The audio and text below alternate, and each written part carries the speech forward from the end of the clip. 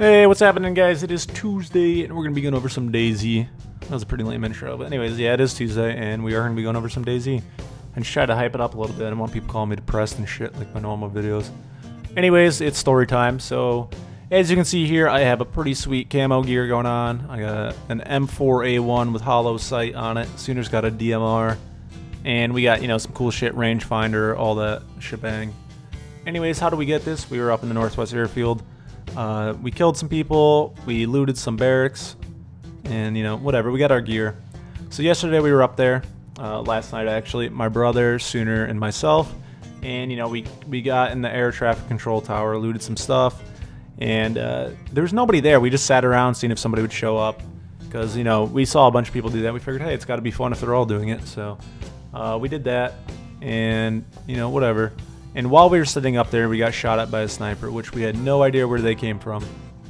So we all took cover, we all went prone, and all of a sudden we all got teleported, and we had no idea what the fuck was going on. So everyone was just like, log out, log out, and that's exactly what we did, because we had no idea what happened. Anyways, uh, my brother was a little bit slow on logging out, but yeah, I guess what he said is a hacker teleported everybody to the north corner of the map, the northwest corner, and it was pretty much a free for all. It was on this hill in the middle of nowhere where nobody should ever be, and you know he just teleported everyone there. But we all managed to log out. Like I said, my brother's a little bit slower. He did live, but he saw what was going on. Uh, Sooner and I were like fucking cats. We we just instantly logged out.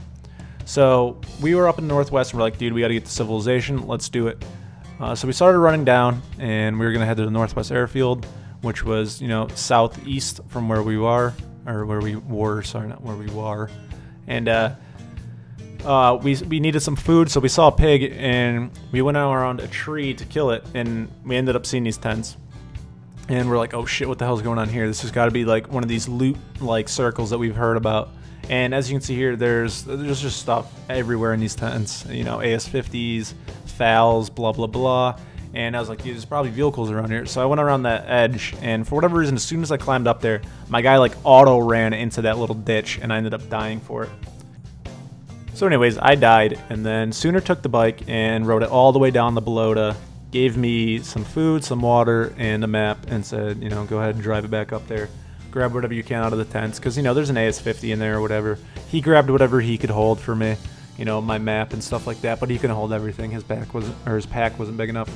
So I rode the bike back up, and what we were hoping for was that this guy was whoring everything here, in which he was. You know, it's it's just a weird spot, and this is what people are doing on servers. They're just taking whatever they can get, whether it's weapons, vehicles, you know, and just putting them all in one spot.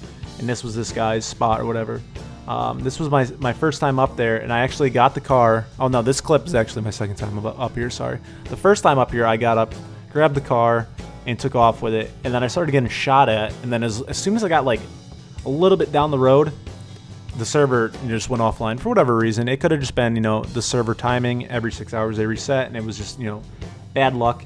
But part of me believes that the server admin, is, you know, is the guy responsible for, you know, holding all this stuff.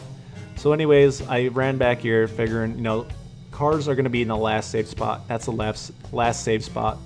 So I took the car. As you can see here, I'm checking out the tents just to make sure there's nothing else in them and I get away with the car. And the car is absolutely loaded with you know guns, food, uh, bandages, blood. It has everything in it, as you'll see in a second. Uh, so that's just a short story about what we did and how we hit the car and everything. But my tip for anybody is, uh, if you're looking for a car, just look in weird spots. Look in the forest where they shouldn't be, because people are just taking them and hiding them and then pinpointing them on their their GPS or their compass, you know, whatever, their maps, and then they're going back. Uh, and for those of you that do have 12 vehicles and are hiding them in the corner of a map, uh, you're a douchebag, and I hope you get hit by somebody such as myself in a car.